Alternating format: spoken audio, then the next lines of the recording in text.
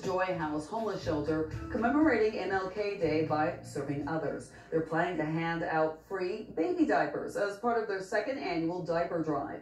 The Genesis Joy House is a nonprofit committed to ending chronic homelessness among women veterans in Georgia. They provide career training, education resources, life skills programs, and mental health services. They're hoping to reach as many families as they did in their first year had a tremendous success last year. We had an outstanding donor, and because of so, we was able to reach roughly about 300 to 350 families. We're hoping to do that and more. All supplies are on a